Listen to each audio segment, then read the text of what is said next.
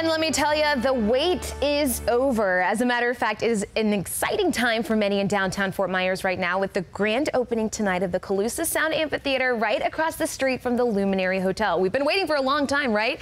That's where we find Fox 4's Kenan Scott. And Kenan, I know you've got the band behind you and some dancers and a pretty nice crowd there. It's a big night tonight in downtown. From the crowd to help me out here. So I'm going to start my. Yeah, Shari, and it's a beautiful one too. As you just said, the Fort Myers Marching Band just finished wrapping up. More and more people are gathering out here, and I'm told that Mayor Anderson is going to address the crowd here real shortly. And I got a chance to speak to the mayor just earlier about why this opening is so important tonight and what it means for downtown Fort Myers as the city continues to grow. Besides hosting the fall concert series, another cool thing about this amphitheater is that you'll actually be able to rent it out for yourself for basically whatever occasion that you want. The mayor told me that this afternoon is going to change the way that people use the downtown area. I think this is going to be a great economic uh, uh, driver.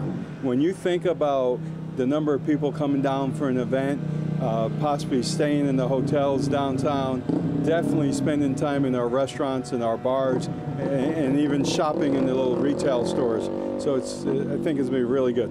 If you want to move up into the shade, um, please feel free to do that. Now, it's also worth noting that this isn't the only major project nearing completion near the downtown Fort Myers area. You'll also, you've also got the renovations to nearby Centennial Park, which is just another example of the revitalization coming to the downtown River District. And this afternoon, I also got a chance to talk to somebody who's visiting Fort Myers from Indiana, who said that all the revitalization that he's seeing downtown is actually going to make him want to move to Fort Myers full time. You're going to hear from him when I join you again at 6. For now, live in Fort Myers, Kenan Scott, Fox 4. Or like off key territory. Thank you, Kenan. Wow, we've been looking forward to that for a long time.